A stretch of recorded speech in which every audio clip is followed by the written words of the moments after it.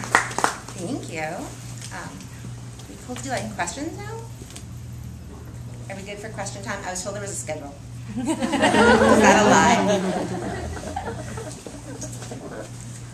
Yes.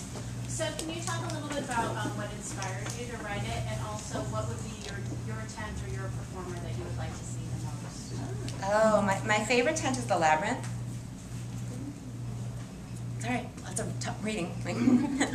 uh, it, it kind of began as just a, an exploration of space. It, it's um, it's not just a maze. It's kind of lots of wondrous rooms that sort of lead into mysterious hallways, and I think that's my favorite space that I, I would love to like actually explore in the circus. I think the circus itself kind of develops as my ideal entertainment venue. Like I, I love um, things that are immersive that you can go in and you're completely surrounded in it. I was a theater major in college, so there's probably a lot of my theater background seeping into the circus. But I, I love the idea of having an entertainment that's something that you go in and you interact with and you explore rather than something you sit and watch. That's kind of where the whole circus idea came from. It's not really a traditional circus, it's kind of more like an immersive performance art space in a way. You'll have to visit the Exploratorium. That sounds fun. Yes. Um, and then I had two questions. Okay. One was um, uh, the research that you did, uh, uh, how that went, and, and what you did to. Uh, I didn't research, I made things up. it was all. It was all like ninety-nine percent of it is just completely made up, and then I would check to make sure I wasn't being too terribly anachronistic. Wow. I'm sure little anachronistic things snuck in there, but it was things like I, I've, I've always had a love of the time period, and and that, so I kind of just used things that I thought felt appropriate or that I could visualize as, as working well in that sort of era and aesthetic.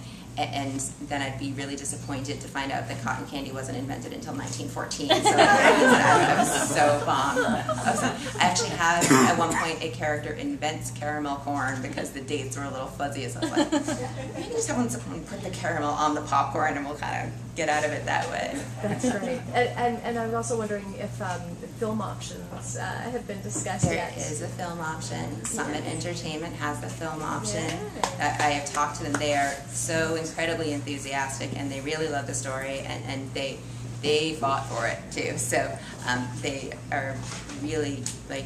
I I feel like it's in very good hands. That they're being very thoughtful about how they're approaching it. Um, they're right now trying to assemble a team to, to get the right um, people together to do it. And um, I did have a psychic tell me that it was going to have very beautiful cinematography. So, like, my psychic seemed to be pretty like on the ball. So, Are you going to have much input? um, I will actually probably have more input than most authors. I will at least have people talking to me.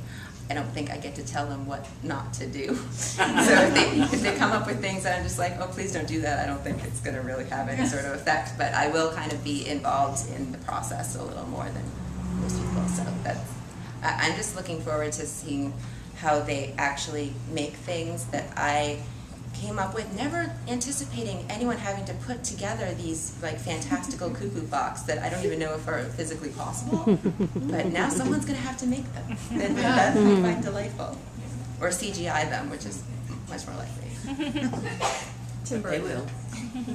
Awesome. Yes. So, so you had the initial book with the with the Edward Gorey people walking around, and then you changed it to circus.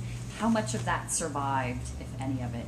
Nothing. Nothing. Nothing. I have. Um, and They just got you there. Yeah, it was just I have. Um, if you took all the material that was edited and changed and removed thing to get here, it is easily three times this amount of writing. It, it's it's pages and pages and pages of stuff to just create the world and kind of.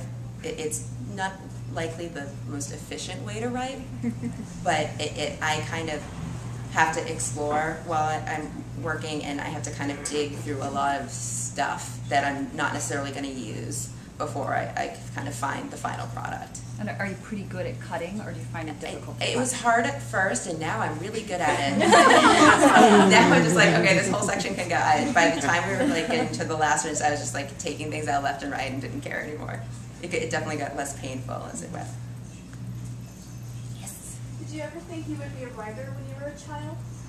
Not really. I kind of made things up in my head a lot, but I didn't really write. And I, I was kind of um, more into visual art and theater for a very long time, and that was sort of my storytelling of choice. And I always wanted to write, and I spent a lot of time thinking about writing without actually writing. um, and it took me a, a very long time to actually get to the stage where I've got words on pages because I, I would try to write and then be so frustrated with how bad what I was writing was that I would give up. And what worked for me was I started doing National Novel Writing Month in 2003 and just having the idea of just sitting down and just writing and not being overly self-critical and just trying to get like a, a, as many words as I could down really kind of opened up that like part of my brain for me. And I, I think as a tool not necessarily to like have a finished novel in 30 days because I don't think that's possible um, but to, uh, it worked for me as a way to develop myself as a writer Did you actually have the time to write, or did you have to work? I had A job, I was, I was job? lucky. I started writing when I, I had a, a day job, but I was lucky enough to be able to quit and kind of um, focus full time on my writing and my painting to see if one of them took off. And this is what happened. So it was a gamble, but it, it paid off. Did you do any workshops? No, I, I've never. I took playwriting classes in college, and that is the only formal writing training I've ever had. Amazing. Yeah. Um, I, I'm more interested. I'm very interested in your theater background. Um, I was wondering what playwrights inspired you. Oh, um, I'm, I'm kind of a Shakespeare girl, which is probably very obvious Yeah. from some of the stuff we sing. Um, Tom Stoppard's another very favorite. Um, I think I was kind of big into um, sort of avant-garde theater. Um, one of the, the big theatrical inspirations um, for this in particular was I kind of gave up on theater. Like after college, I, I burnt out completely. But um, I was lucky enough when I was working on revising in um, uh, in Boston. Um, there's a British company called Punchdrunk that does immersive theater. And their first U.S. production they staged two years ago in Boston. It's now playing it in New York City. It's called Sleep No More. It's this immersive Hitchcockian Macbeth, and you go into this space. They, they in Boston they did it in an abandoned school. In, in New York, it's in kind of like this like huge old building, um, and the action unfolds around you. And you get a mask when you go in, and you just choose where to go, and you wander around. And it was the closest thing I'd ever experienced to the circus in real life. So there are little homages to it in the book, the, the, the tunnel that you go through to, to enter the circus and things like that are pulled directly from that production.